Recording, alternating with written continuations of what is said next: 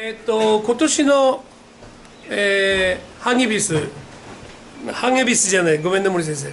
ハゲビスハゲビスという、えー素早いという台風19号が来たおかげで君たちの一つ山をかけることができるようになりました。来年の受験は台風気象関係で決まり。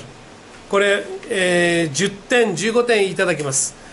ということで今日ちょっとそれでできるかどうかね高気圧と低気圧のチェックをやってもらったんだけどもいかがでしょうかね。では、え説明しながらねあのやっていきますね。はい。ではいきます。11は日本のある地域に発生した低気圧の等圧線のあ示したものです。A から D の中から気圧が一番高いところはどこですか？って言ってます、えーこの図は、まあ、そこに図が書いてあって、まあ、大体ねあここが A ここが C ここが D ここが B みたいに書いてあるね。これでいいですか？このように書いてあります。この中でこれは、えー、とまずポイントはね低気圧なのか高気圧なのかはっきりしなきゃダメだよ。低気圧。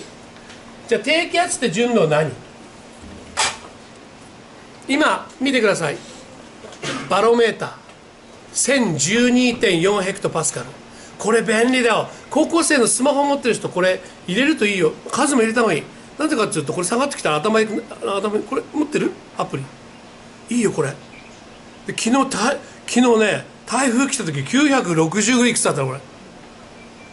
でであのどんどんどんどん近づいてくると990あ970960ってどんどんどんどん下がってきてで過ぎていくと今日今日の朝見た時970で徐々に徐々にやって今今あさっき1000だったけど今1012ちなみにいくついくつまでいくつが一番普通なんだっけ？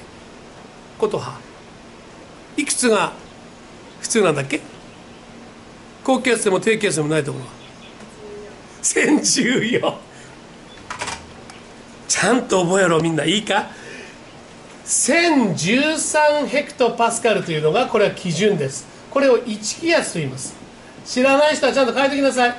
いいですか？1013ヘクトパスカル。これが高気圧と低気圧のちょうど中間。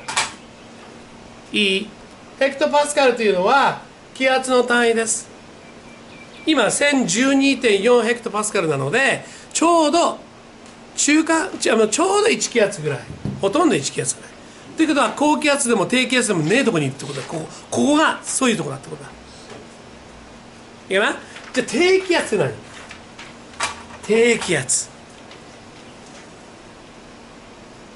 あのさ飛行機乗った人乗ったことある人いる？乗った？あ乗ってるね。九州よく行くもんな。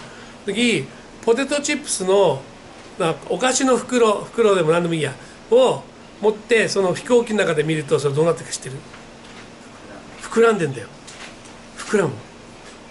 で下手するとケチャップのあの ケチャップの袋がなんかあって袋でプシューとか膨らんでパーンってなることもあるんだけどね。あれなんでかっていうと気圧が低くなるから膨張するんだよね。膨張するってことは同じ空気が薄くなるってことだ。空気の密度が小さくなるの。密度がちっちゃくなる。要するに空気が膨らんだ状態。なのね。だからここの中空気がまあ薄いと考えろ。薄いと。要するにね空気が薄いとか低気圧なんだ。逆に言うと高気圧は空気が密度が濃いところ。圧縮されてるところが高気圧なんだ。はい。それでまずイメージとってね。今からそれがね大切なことになってきます。じゃあ今の問題もう分かるね。えっ、と気圧が一番高いところはどこかっつったらいいですか？ここが一番薄くて低いんだ。低気圧だから。ここ低いんだからここから一番離れてるところだよね。離れてるところが一番高いよね。答えは D で1番。ABCD の D A とやった人。いませんか？はい言いました。A いたね。A はい。A はどこ？高気圧だったら A は一番高いところになるよ。真ん中。山山イメージして。これ谷イメージして谷。低気圧は谷だよ。いいね？そのイメージをしてください。で低気圧ちょっと見て。低気圧というのを横から見る横から見るとこんな感じです。ここここここ低気圧の中心。これ低気圧の中心。低いあの横からね断面で見るとこんなイメージなんだよ。低いのね。こういう感じなんだ。で高気圧のイメージはどういうかというとこんな感じ。ここ高気圧。高気圧。山なんだよ。高気圧と低気圧というのはまず覚え方は低気圧がグー。高気圧が死ね。こういうふうに覚えるんだよね。死ねってどういうことかってこれ後で分かります。低気圧はこういうふうに低気圧はグーだから上向きで左に吹き込みます。こんな感じね。これ右ネジの法則と一緒なんだけどね。これそっちが作ったんだよ。で、えー、死ねでしょ？高気圧がね。天気がいい方は死ねなんだけど、えー、こうなってきてこれ高気圧になってこれこう回るから時計回りに吹き出すということなのね。そうするとこれは低気圧なのでここからこう指だとこうです。この状態。まずここから空気が断面的に上から見てからブワーッと上上がってくる。ぐーっと渦巻いて上がってくるの。これが昨日あった台風の元ですよ。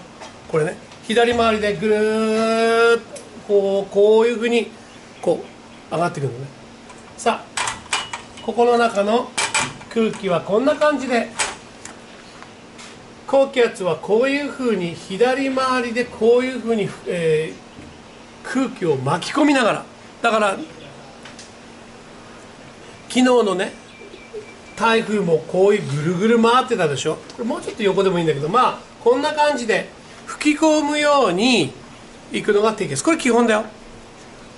いいね、ちなみにここに書いてないけど高気圧のとこ言ってくね。高気圧は高気圧は吹き出すから。いい。高気圧は吹き出す。こんな感じ。右回りに吹き出します。高気圧ね。これ重要だよ。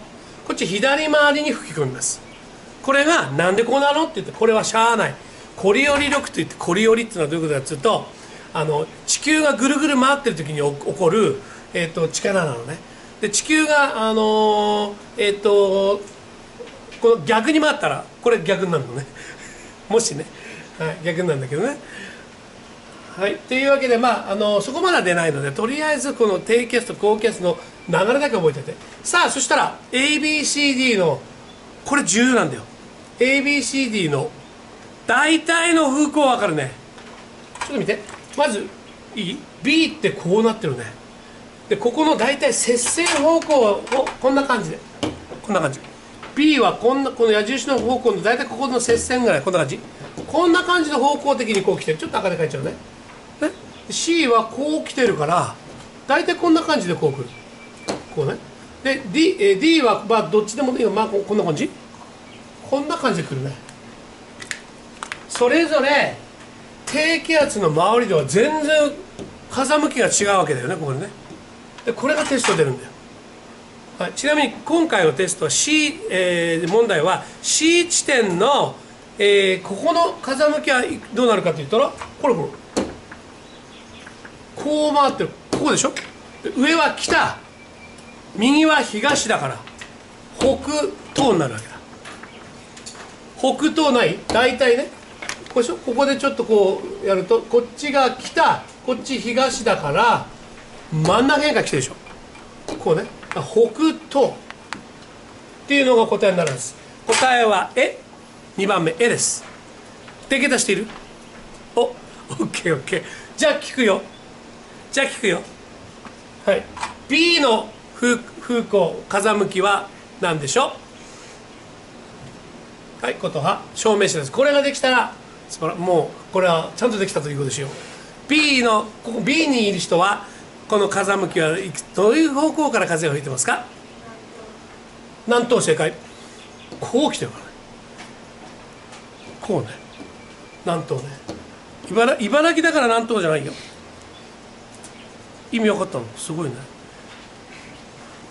茨城納豆。そうそうそう。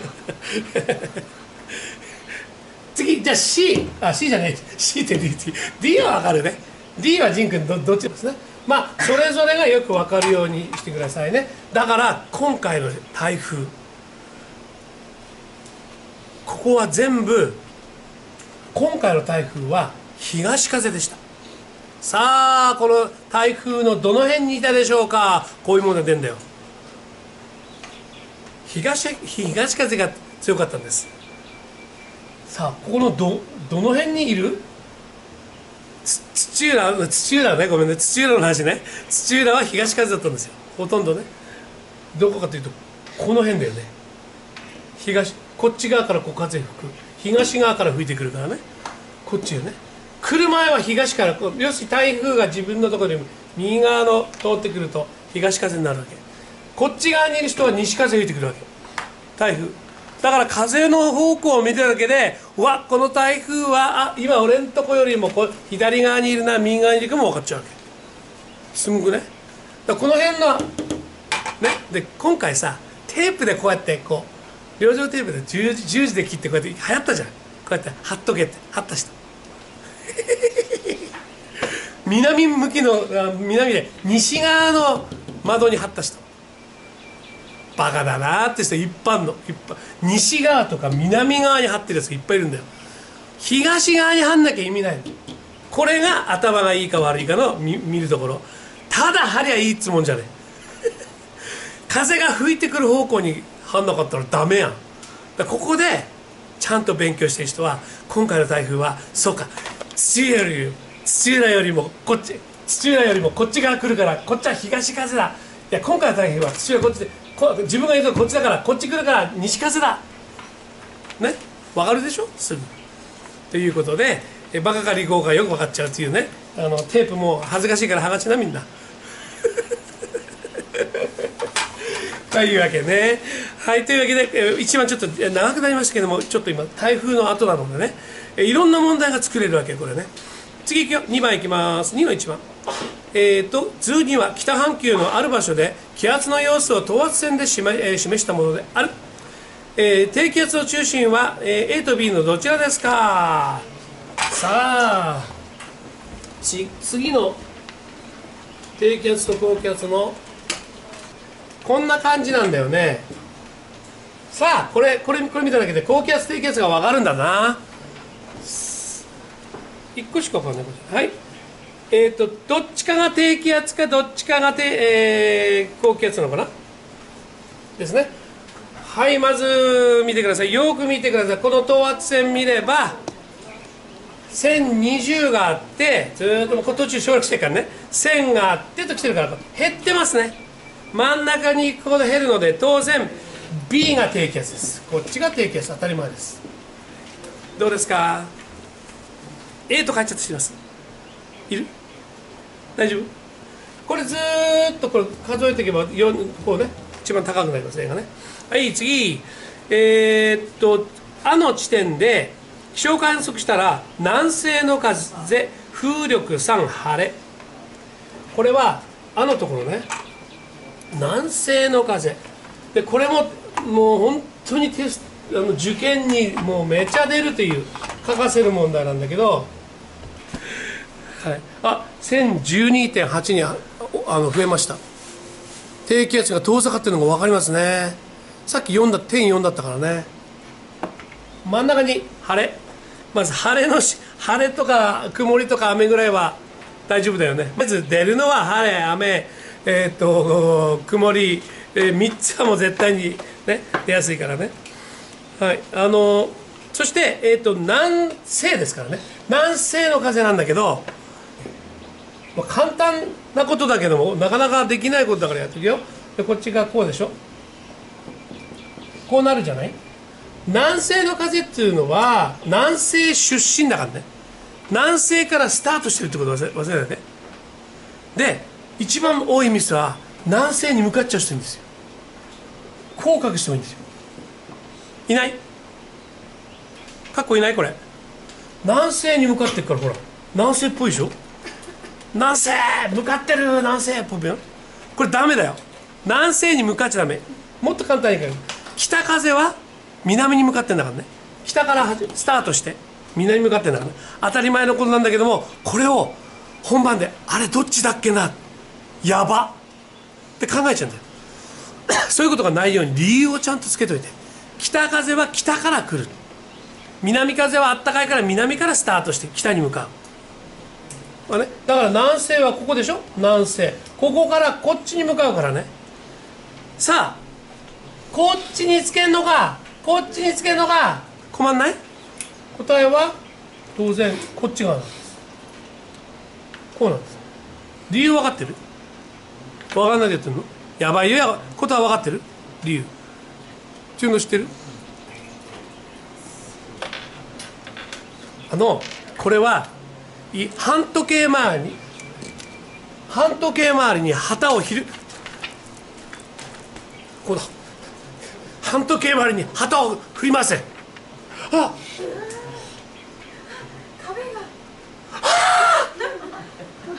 やばくないこれ、はあ、ちょっとひらひらひらひらひらってなるじゃん。それだけだ。ピッてやってればほらここに旗。旗を。ひらひら旗って。たんだよこんな感じで旗を半時計回りに翻せ。そしたら答え。次。真ん中ね。はいえー、っと。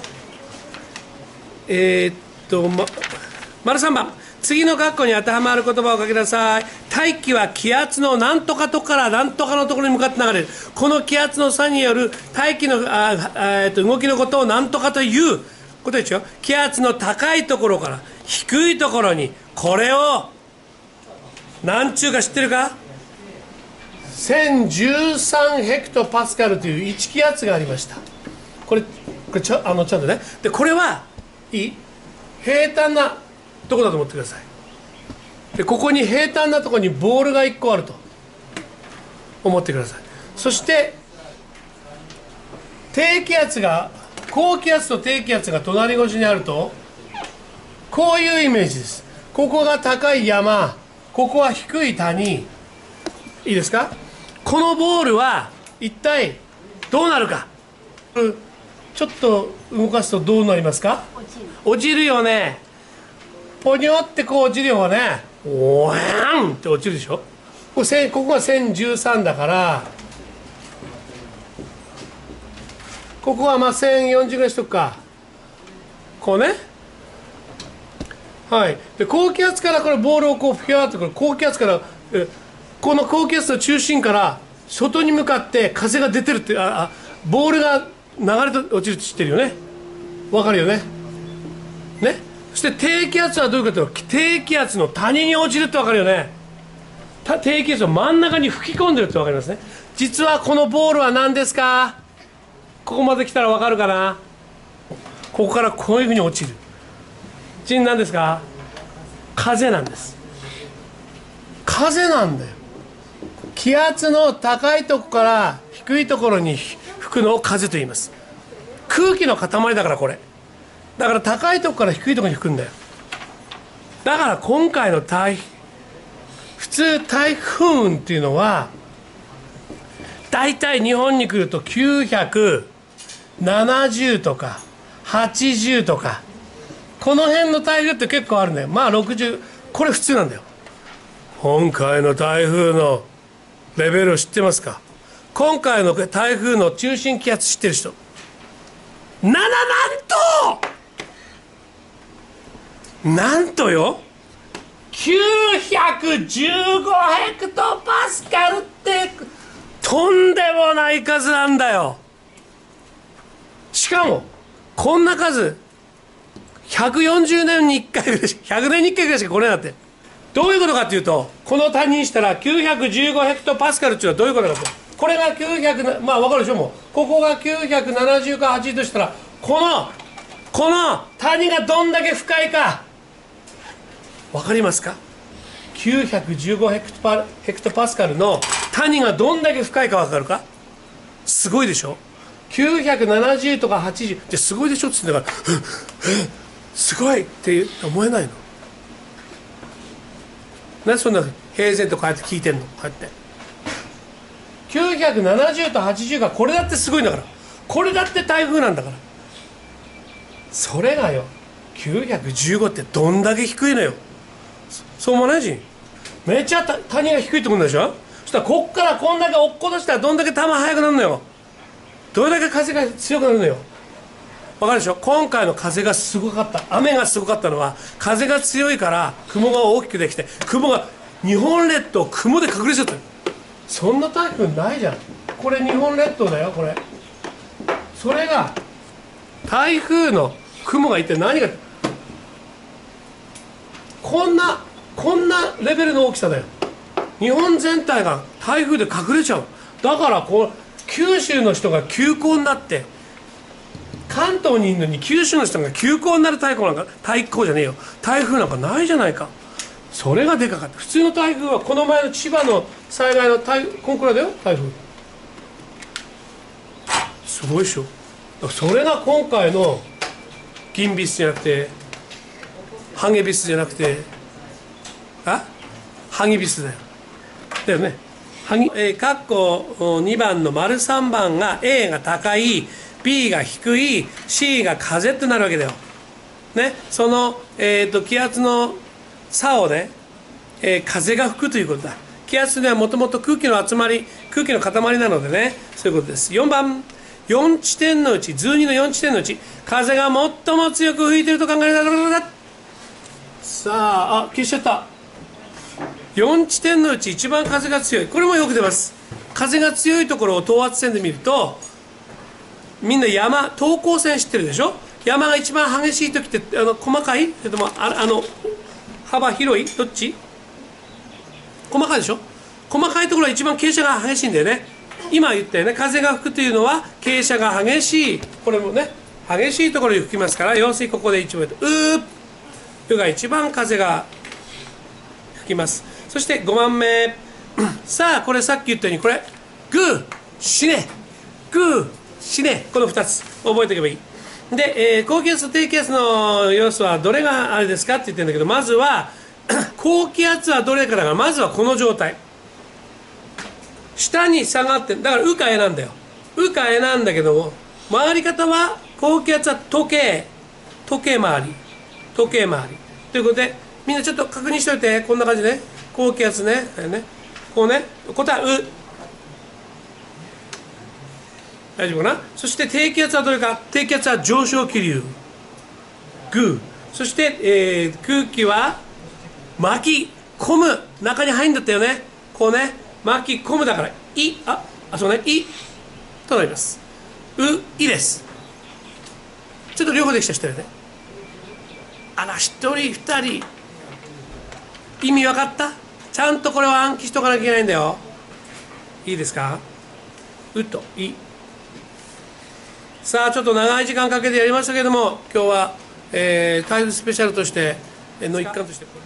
今回これはもうテストに出ると思っていい、えー、受験に出ると思っていいです。